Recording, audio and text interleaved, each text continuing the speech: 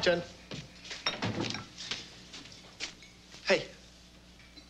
Oh, oh, you must, uh, you must be the, the new waiter. I'm, uh, I'm George. Oh, so you're the dude from Vegas who left Casey when she was little. No, I'm, I'm the other dude. So you must be the dude who only tips 12%. That, that would be me. What can I get you, George? Uh, oatmeal and orange juice.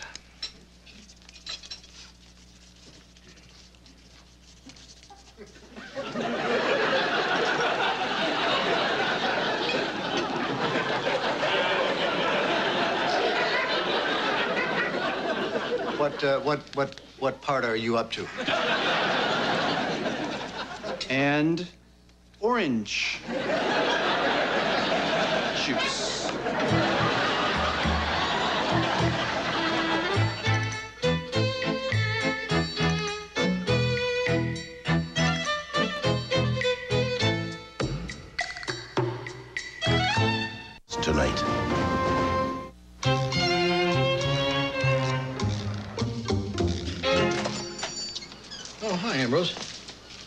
How's your, uh, how's your novel coming? Not good, George. See, I don't know where to go with it after the character of the elderly bookstore owner is tied to the side of a cliff. while seabirds peck away at his flesh. Ambrose, I explained to you why I couldn't give you dental. Morning, Stoody. Oh, uh, morning, Lloyd. How, how are you today? Not here for small talk, Stoody. I'm here in my official capacity as Edgartown's building inspector. There are reports of a tenant living in this structure. Oh, oh, that, but that's, that's just, uh, that's just Leo. Just Leo. Well, that's just a zoning violation, and that's just a $200 fine, and you have just 24 hours to get him out. Well, you know, he, I, he's going to be moving out soon. I mean, couldn't, you know, couldn't you make an exception? You mainlanders are all alike. Come here to our island with your fistfuls of cash, and you open your tacky little stores where you sell your T-shirts and your pornographic postcards. well, I've been watching all of you, waiting for one of you to mess up. And now, one of you has. Delicious. Lloyd, you, you take your job way too seriously. Uh, Leo, could I see you for a minute? Yeah, George, what is it? You want to see me? Uh, Leo, uh, the building inspector was just here. Um, uh, you're not going to be allowed to, uh, to live here anymore. Whoa, wait a minute, wait a minute. I'm being evicted? Uh, yes, it's a, it's a zoning thing. Oh, nice little town. There's a Jew in the attic, and now they turn him in. I, I don't, I don't think that had anything to do with it. He was, he was just uh, following orders. That, that didn't come out good either, did it? Yeah, yeah, yeah, yeah. So, so what am I supposed to do now, huh? Now, where am I supposed to live, huh? Wait a minute, George. You have a nice big house, don't you? Yeah, well, see, uh, see, the trouble, uh, the trouble with, with my house is it's a, uh, Is what, George? it's a one, uh, one-bedroom house. A one-bedroom house. That is unusual. It's, it, it's very, very unusual. It was uh, built in 1820 by a, a, a sea captain uh, who, who was, um, uh, who, who, who was paranoid. yeah, yeah, that, that's it. He was paranoid, and he had this, uh, this uh, fear of, of house, house guests. You're not good on your feet, are you? No, no, I'm not.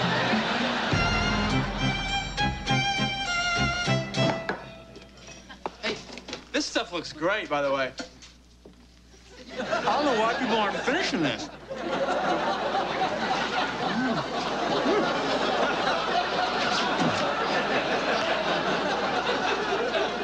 Ted, that is the worst waiter I've ever seen. Yeah, okay. Well, I guess you're right. Uh, I guess we're just gonna have to go ahead and, um, and have you fire him.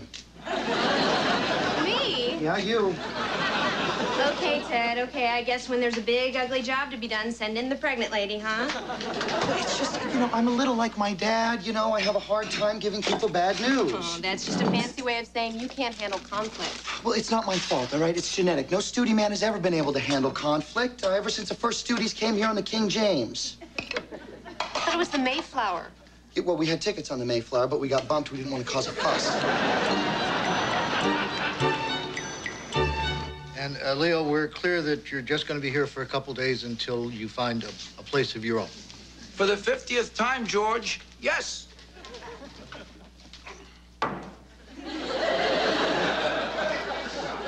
Uh, George, Yes, Leo.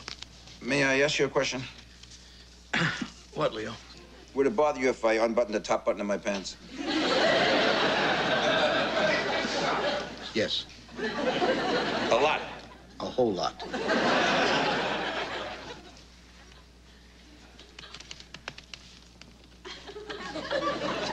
Hey, George, What, Leo? you snacky? Am I what? Snacky. And when a person is a guest in another person's house, that person usually offers that other person food.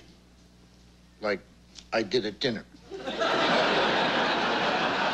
No, no, dinner was dinner. This is snacky time. Uh, Leo, help yourself to whatever you want in the kitchen. I'd just like to sit here and read my book. Martha Stewart, ladies and gentlemen.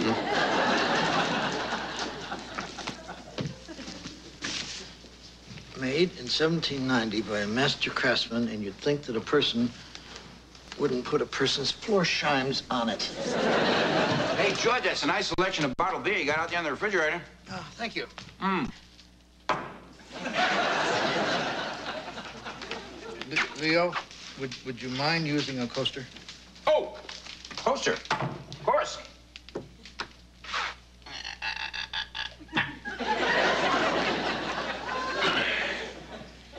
What's the matter now, George? We need a coaster for my ass? You just sat on my pipe. Oh, sorry. ah, there you go, George. Smoke away.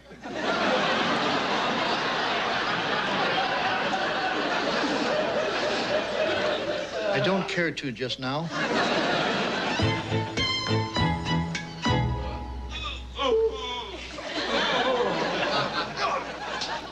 Hey, it's a beautiful day, George, you know?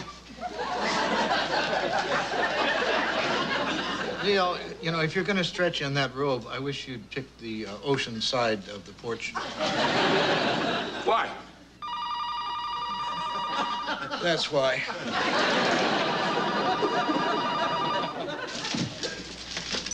Hello, Mrs. Johnson. Yes, yes, I've, I've talked to him about it. It is a very short robe. Yes, it is. I'm as concerned about property values as you are. I'll, I'll give him the message.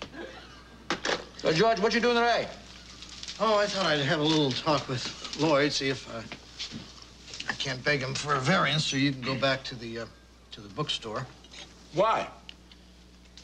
That robe has a lot to do with it. All right, so what's your plan on how to handle this, uh, Lloyd? Oh, I figured I might soften him up if I brought him lunch. You know, get to know each other.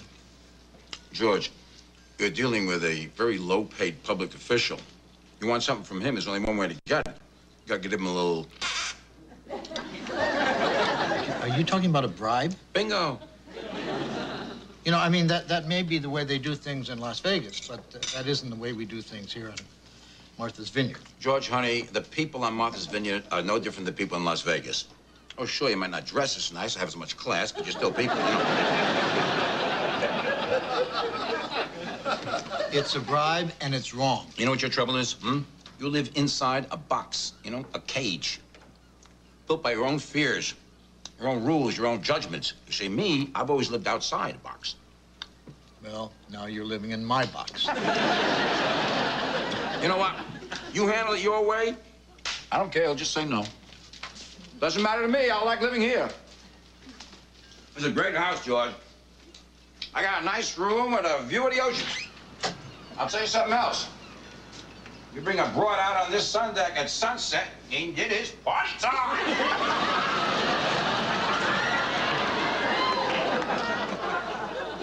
Leo, would you stop that and come back in here? Why?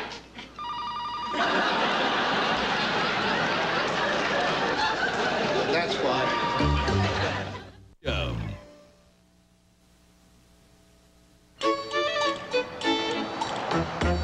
And that's when I was promoted to assistant building inspector. Wow, wow, that's that's interesting.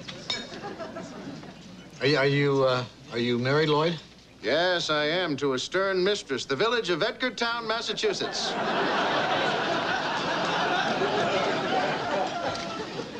Okay. Um, do you have any hobbies? What what do you you know do in your off hours? I spend a great deal of time on the internet. I'll bet you do. Stoody, why don't you tell me what this is really all about? Is it about a variance? Well, you know, if that subject came up, I thought you might uh, see your way What do you clear. take us for down here? A bunch of inbred boobs?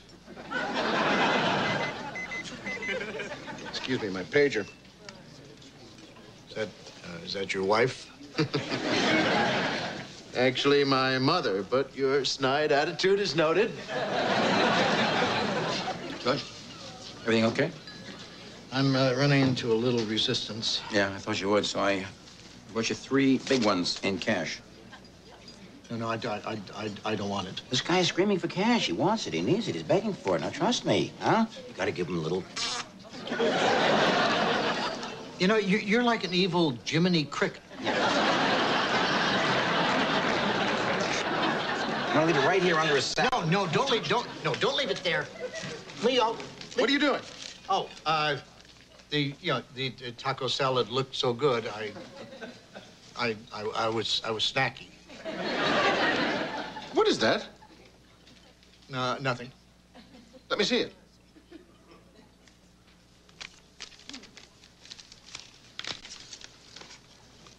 There's $300 in here. Is this for me, Mr. Stoody?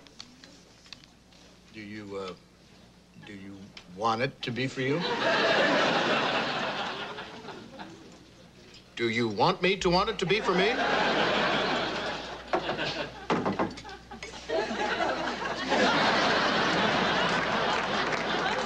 Help me understand.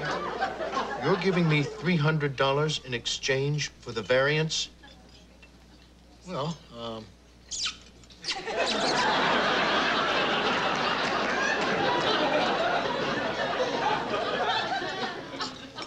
Thank you, George. thank you, Lloyd. Thank you for once again proving that all you mainlanders are scum. Uh, excuse me? I'm a public official. I serve the people. I have never accepted a bribe in my life, and I'm not about to start doing it right now.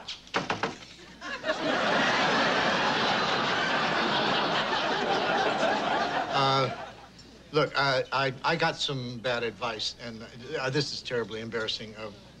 Uh, uh, why, why don't we uh, just pretend that, you know, this, this never happened? Oh, we're not going to do that.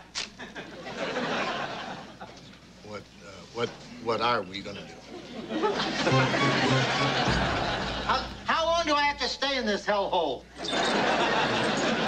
Well, it's been eight and a half minutes, George. It's really just a formality till we get an authorization code on your credit card.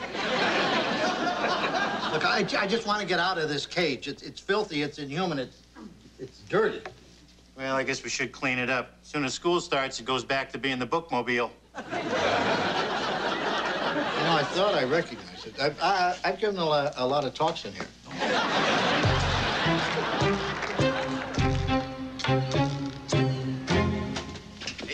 Hey, home at last.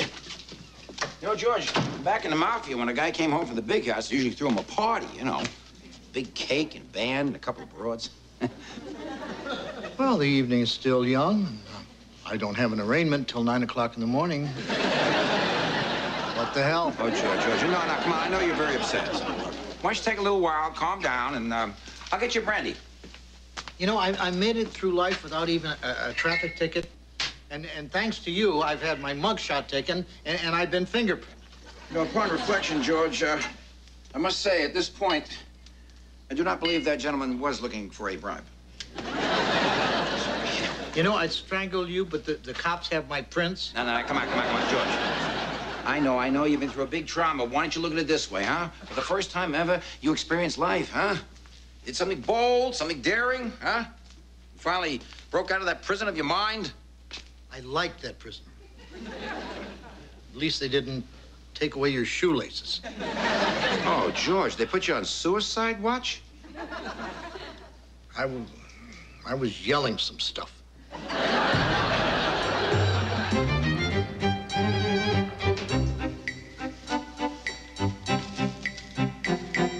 Okie doke, Case. Eh? Ian's out there all by himself. Let's go do this. No, Ted, I think you should do it. What are you talking about? By myself? Ah, think of it as a dry run for fatherhood. I want you to be able to deliver bad news. Sounds like a test. Hmm, that's because it is. Ian. Yep. Hey, uh, gotta talk to you for a real quick sec. Could you sit down right there for me, please? Yeah, sure. uh, this is uh, very, very hard for me because I, I like you so much. You are a great, great, great, great, great guy. Uh, but, um, wow, this is hard. Uh, um, uh, Ian, I need to tell you uh, that.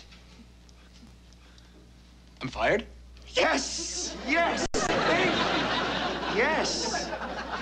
Oh, yes, yeah, you're, um, mm, what you said. Don't worry about it, man. Yeah? I'll be okay. Yeah, I come from money. Hey, huh? I did it! I fired you. I actually fired you. Oh, how was I? Frankly, I've had better. You know, uh, Casey didn't even think that I'd have the nerve to do this. You see, I'm, I'm, I'm bad with confrontation. Oh, let me get my step. All right. Oh, hey, one sec, Ian. Uh, when you go in there, could you do me a, a small favor? Uh, could you pretend that you're all shook up? Oh. Do you know what I mean? Like I came down really hard on you. It'd, it'd make me look so good. Yeah. Okay, yeah. Yeah? Not a problem. Appreciate it.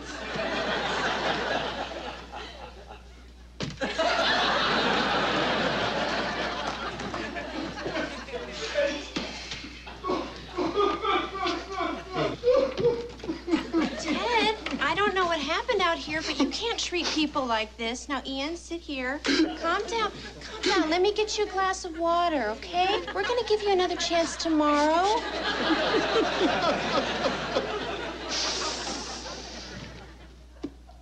That one bit you in the ass, didn't it?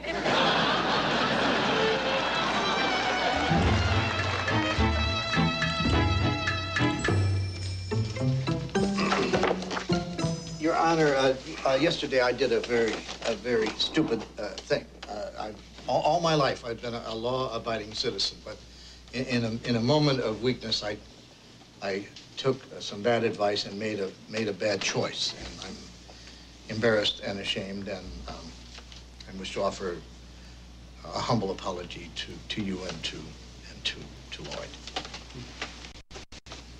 Is that all you have to say, Mr. Stoody? Uh, also, I was under the influence of a, a very powerful um, an, antihistamine.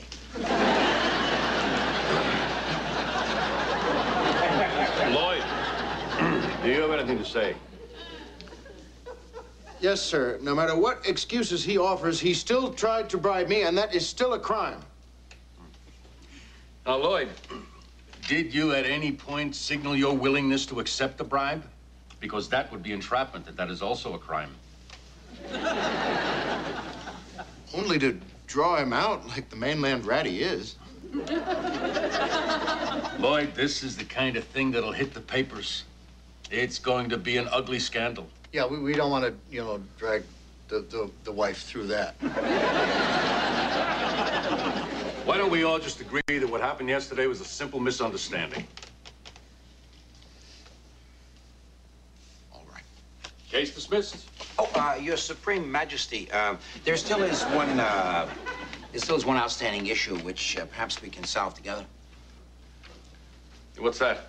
Well, this whole comedy of errors began when my befuddled elderly friend was asking Lloyd here for a uh, zoning variance uh, so that I could continue to rent the space above his bookstore. And I refuse to grant it, Your Honor. We can't go mixing commercial and rental properties. Uh, but wait a minute. a thought occurs. Now, the building is not zoned for rental property. However, the law has nothing to say about the family staying with family. Ooh, that is curious. Please go on. Well, so long as no rent is charged, uh, Mr. Wagman can stay at the bookstore in perpetuity. Per, per, per, per, perpetuity. It means forever, George. I know what it means. Yes. Good day, gentlemen.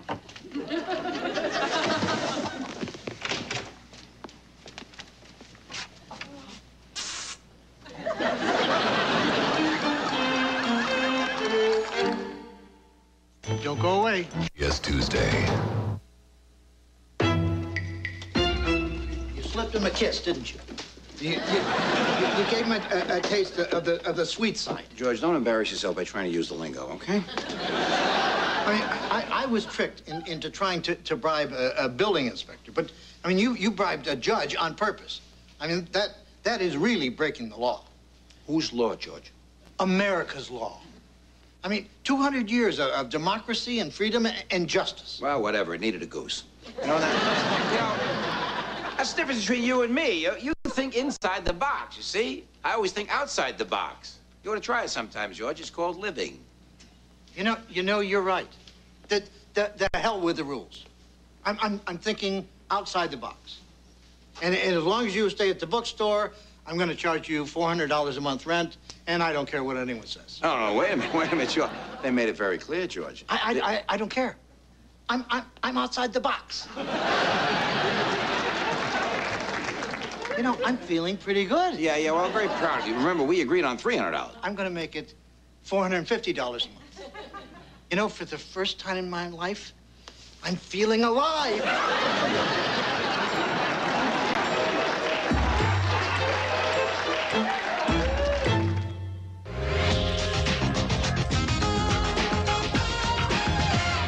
Wait until you see the season premiere of Murphy Brown. Murphy's out. You were fired. I wasn't fired. Joan London's in. You really think people would prefer her over me? Joan! But the real shocker It's you! is in the last scene. Oh, my